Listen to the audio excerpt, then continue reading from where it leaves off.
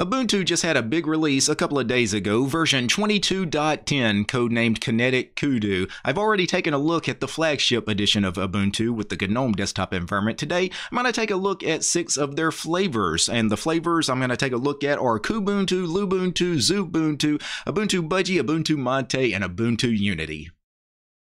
The first official flavor I want to take a look at is Kubuntu, Kubuntu 22.10. During the installation, I have to admit I was a little confused by the installer because I know Kubuntu has been talking about eventually moving away from the Ubiquity installer to the Calamares installer. And the installer actually had me confused because I thought maybe they had already made the switch because this installer does look like Calamares, but not quite. So actually what I did was I fired up a terminal and I ran the xprop command inside the terminal to take a look at what exactly am I looking at here. xprop, by the way, is a X Windows properties command. It'll give you like the property name of that window, so it'll tell you exactly what a program is if for some reason you're confused about what it is. And in this case, the installer is in fact the Ubiquity installer. Now, during the Ubiquity installer, it's the standard kind of Ubiquity install you would get with the flagship edition of Ubuntu. So you're offered minimal and normal installation options. Also, you have the ability to download updates and install proprietary drivers and multimedia codecs during the installation. Also, one thing to notice is unlike the flagship edition of Ubuntu, there is no advanced options button in the installer where you have the option, if you want to, to use ZFS for a file system. That is not available inside Kubuntu, unfortunately.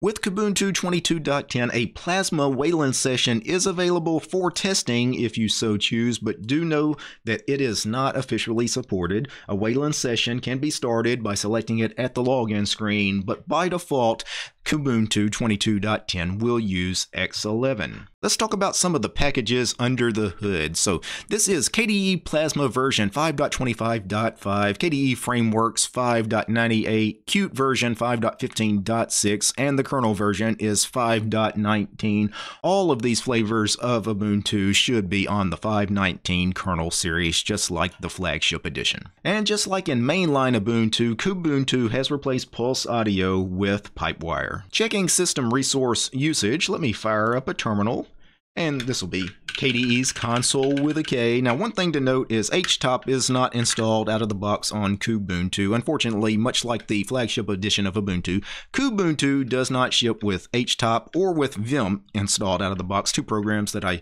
I find kind of curious why any modern Linux distribution wouldn't just ship those out of the box. But I've installed HTOP, and you can see KDE Plasma is a really lightweight desktop environment these days. I'm only using 627 megs of the 6 gigs of RAM that I gave this VM, and this is pretty much on a cold boot. I really haven't done anything in this virtual machine just yet. You can see CPU usage right now is next to nothing, which is not surprising. We're doing nothing that should be taking any CPU. Let's talk about the wallpaper. The default wallpaper is absolutely gorgeous. I love the default wallpaper, and if you go into the desktop settings for wallpaper, you can find the wallpaper pack is really quite stunning. All of these wallpapers, though, these are nothing new. These are just standard plasma wallpapers that you've seen before, so there's really not much new here, but all of these are just fantastic, mostly abstract art wallpapers that I just think are some of the most beautiful wallpapers out there.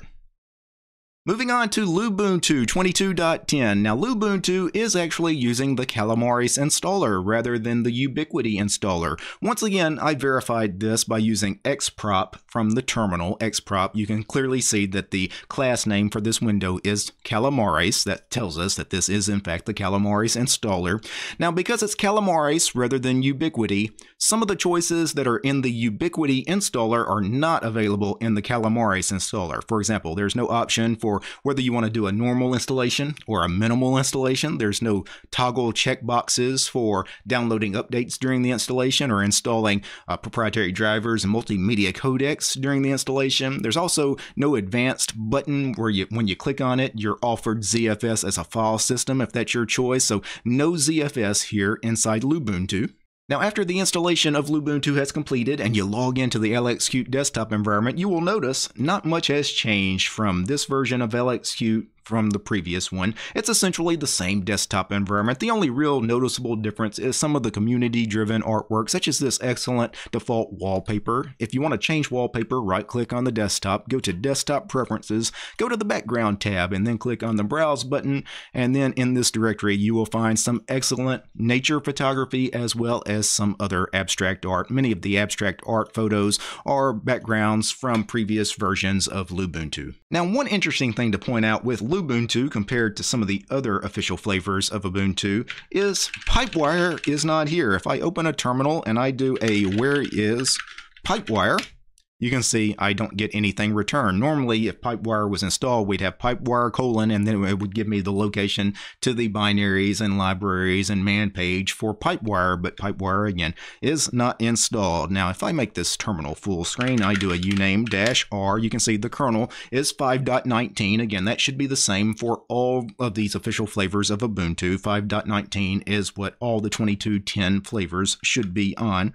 If I run htop, we can get system resource resource usage. And one thing to mention about Lubuntu is unlike all of the other official flavors of Ubuntu, Lubuntu is the only one that ships both HTOP and Vim installed out of the box. So I do want to congratulate the Lubuntu team on a, I would say, a more informed decision compared to some of the other distro maintainers in the Ubuntu family. Now, looking at system resource usage, let's look at the RAM usage. It's very lightweight, 495 megs of the 6 gigs of RAM that I gave this. So LXQt is not a hungry girl at all. She's actually quite slim, and this makes it a really nice choice for those of you that are running underpowered equipment or older equipment. Moving on to Xubuntu 22.10 with the XFCE desktop environment, Xubuntu uses the familiar Ubiquity installer. Because it uses the Ubiquity installer, both the normal installation option and the minimal installation option are offered, as well as the checkboxes for downloading updates during the installation and installing those proprietary drivers and multimedia codecs is available as well. Also, we have the advanced button that offers ZFS as a file system if you so choose. Moving on to the XFCE desktop environment, not much has changed. The panel, the menu system, all looks the same as XFCE and past releases. Now, some of the applications themselves, the individual XFCE applications, some of them have seen some tweaks and improvements. Thunar, which is the file manager for XFCE, now has a better file search utility. It includes a built-in recursive file search utility. Also, Mousepad, the text editor, now has a search history as well. If I hit Control-Alt-T inside Xubuntu, that brings up a terminal, and let me go ahead and make this full screen. And I'm going to zoom in here, and if I do a where is Pipewire, you can see Pipewire is also not installed in Xubuntu, so the default audio server is still Pulse Audio uname-r. You can see our kernel is 5.19. HTOP is not installed, neither is Vim. Let me do a sudo apt install htop. And checking system resource usage with HTOP, you can see that the XFCE desktop environment is only using 562 megs of the 6 gigs of RAM I gave this VM. For wallpapers, let me right click on the desktop, choose desktop settings, and the wallpaper pack for Xubuntu is actually quite good. There's some excellent photographs, as well as some really cool abstract art as well. I really like, though, the default wallpaper here for Xubuntu 22.10. Ubuntu Budgie 22.10 features the familiar Ubiquity installer because it uses Ubiquity. We have the options for both a normal installation or a minimal installation if we prefer. Also, we have the toggle buttons for downloading updates during the installation or installing our proprietary drivers and multimedia codecs during the installation as well. We also have the advanced button that offers us ZFS for a file system if we so choose. Looking at the Budgie desktop environment, the Budgie desktop environment is gorgeous. Uh, I love everything about Ubuntu Budgie as far as the aesthetics. I love the default wallpaper. I like the time and date widget on the desktop. I love the translucent panel. And of course, the menu system is a very traditional feeling kind of menu system that is easy to navigate. Of course, the Budgie desktop environment is a GTK based desktop environment. They are using the GNOME 43 stack with Mutter 11. If I do Control Alt T to bring up a terminal here inside Ubuntu Budgie and I zoom in, let me make this window full screen. If I do a where is Pipewire, you will see Pipewire is installed. Pipewire has now replaced Pulse Audio for everything audio related. uname dash R. Once again, our kernel version is 5.19. If I try to run htop, htop is installed out of the box inside Ubuntu Budgie. Thank you, Ubuntu Budgie team. You guys get a gold star. You can see for RAM usage, Ubuntu Budgie is using 685 megs of RAM of the 6 gigs of RAM I gave this VM. CPU usage is also uh, quite light. Actually, we're using a little bit of CPU right now. I don't know if it's trying to do like a, a system update or it may be a package management thing where it's checking if there are any updates available, but it's settling back down to about 5% CPU now. One thing I haven't done in the other flavors, but I will do now in Ubuntu Budgie, if I do a snap list, you will see the snaps that are installed uh, out of the box are pretty much the same on all the distributions. That's why I didn't do it. Firefox is the default browser on all these distributions. Firefox is installed as a snap, and I know that causes some people some frustration. But if you're one of those people that do not like Firefox as a snap, you can find a PPA that will install Firefox as a deb pack if you so prefer. One nice little tweak to the menu system here inside Budgie is we have this familiar kind of menu system where all the apps are grouped basically all together. So you get a list of every single application. They're not broken down by category, but now we have this little button here that if you toggle that on, that is a more traditional kind of menu system where apps can be broken down by category. If I hit super and search for desktop settings, the Budgie desktop settings is the name of the program. One of the things you will notice under style is under styling, you can set the preferred application style. And you can see you have preferred dark, prefer light, or the application preference. By default, it is preferred dark. And what this does, it allows you to go ahead and set that dark or light style for all GNOME 42 and libhandy based applications. Moving on to Ubuntu Mate 22.10, Ubuntu Mate still uses the familiar Ubiquity installer. The Ubiquity installer also offers us the normal installation option or the minimal installation option. We also have the ability to download updates during the installation and install our proprietary drivers and multimedia codecs during the installation. Also, we have the advanced button that offers us ZFS for a file system if we choose that. Now, what has changed in Ubuntu Mate 22.10? Well, not much. From 2204 to 22.10, not much has changed. This is a rather modest release of Ubuntu Mate. Everything is pretty much the same as it's always been. And part of that is because the lead dev of Ubuntu Mate, Martin Wimpress, he has been working closely with the Debian team trying to bring the Ubuntu Mate desktop experience over to Debian Mate. And the reason he's working so hard to get Debian Mate straight is, of course, Debian being upstream of Ubuntu. If most of what is baked into Ubuntu Mate is already in Debian. It just makes things a little easier. It makes everybody's life a little easier. So most of the changes for this release of Ubuntu Mate are going to be under the hood changes. I do apologize for this blinding white terminal. The Ubuntu Mate team really should default to a dark terminal color scheme, but bear with me. If I do a where is Pipewire, you can see that Pipewire has now replaced Pulse Audio for all your audio related stuff. If I do a uname-r, you can see they're using 5.19 for the kernel, and htop is installed in Ubuntu Mate. Way to go, Ubuntu Mate team. The Mate desktop environment, she's only using 627 megs of the 6 gigs of RAM I gave this VM. CPU usage is next to nothing. And for those of you that are a fan of aesthetics, the wallpaper pack in Ubuntu Mate may be the best wallpaper pack out of the bunch. They have some absolutely gorgeous Kudu related wallpapers. I mean, these things, I don't know who did the artwork for these, but these are absolutely stunning wallpapers. I may actually have to rip off some of these. I, I really quite like that one. I may leave that one as my default. And the final flavor I wanted to take a look at is Ubuntu Unity Edition 22.10. Ubuntu Unity uses the familiar Ubiquity installer, because of that, once again, we have the normal installation option, the minimal installation option. We have the ability to download updates during the installation. We have the ability to download our proprietary drivers and multimedia codecs during the installation. We do have an advanced features button, but ZFS is not a listed option.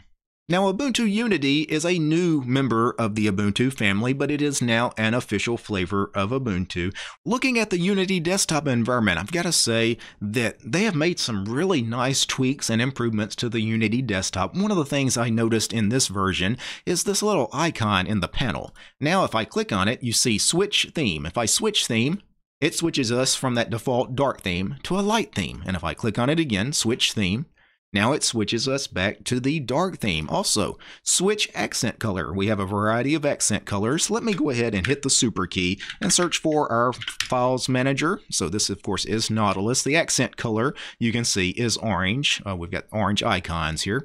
And if I switch accent color and go to purple, you can see we now have the purple accents for the icon set. If I switch to sage, we have a really kind of uh, grayish green sage color here. There is Viridian, that's a little brighter, but I think more appropriate for our purple wallpaper would be to do something like magenta. Yeah, that's really nice there. I'm going to leave that. The Unity desktop environment is actually light and peppy. If I go and look at our installed applications, you can see the menu system actually works quite nicely. You can see the search is rather nice. Also, you can see we have our global menu here. If I make something full screen, we do have the global menu integration. Also, you can see that the window control buttons are on the left-hand side of our windows, even when it's not maximized. So that is something to be aware of if you are new to the Unity desktop environment. And the reason those Windows controls are on the left-hand side of the windows is because everything happens on the left-hand side of Unity. It wouldn't make sense to also have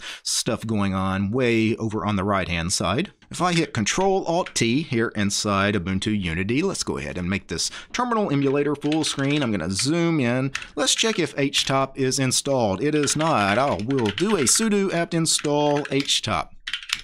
And someone should file a bug report with the Ubuntu Unity team letting them know htop is missing. And htop and you can see the Unity desktop is actually a little heavier than the other flavors we've taken a look at today. It is using right at a gig of RAM of the 6 gigs of RAM I gave this VM. It's using a little bit of CPU, not much. If I do a uname dash R, you can see the kernel once again is 5.19. If I do a snap list, you can see Firefox is installed as a snap. If I close the terminal and right click on the desktop and change desktop background, you can see we have another very excellent wallpaper pack, including some really nice abstract art with the kudu. I, even though it's kind of a strange animal, an animal I had never heard of, I really am really impressed with the wallpapers that each official flavor of Ubuntu has come up with for this series. So there you have it. That was just a very quick and cursory look at six of the official flavors of Ubuntu. I do want to congratulate everybody involved with this Ubuntu release, both on the flagship edition of Ubuntu as well as these official flavors. I really am impressed with what some of these official flavors are doing, some of the community behind these distributions, uh, some of what they are able to achieve. I think the official flavors in many cases are as good, if not better, than the actual flagship edition of Ubuntu, which is actually an incredible feat considering that, of course, the main edition of Ubuntu is corporate backed, but I have been really, really impressed with what I'm seeing out of the official flavors here recently. Now, before I go, I need to thank a few special people. I need to thank the producers of this episode, and of course, I'm talking about Gabe James, Matt, Maxim, Mehmet Mitchell, Paul West, Why You Bald Homie, Alex, Armor Dragon, Chuck, Commander Angry, Dayokai, George Lee, Marstrom, Nader, Jan, Alexander, Paul, Peace Arch and Fedora, Polytech Realities for Less Red Profit, Roland, Stephen Tools, Devler, and Willie. These guys, they're my highest tiered patrons over on Patreon. Without these guys, this episode you just watched would not have been possible. The show's also brought to you by each and every one of these fine ladies and gentlemen. All these names you're seeing on the screen right now. These are all my supporters over on Patreon because I don't have any corporate sponsors. I'm sponsored by you guys, the community. If you like my work and want to see more videos about Linux and free and open source software, subscribe to DistroTube over on Patreon. All right, guys. Peace.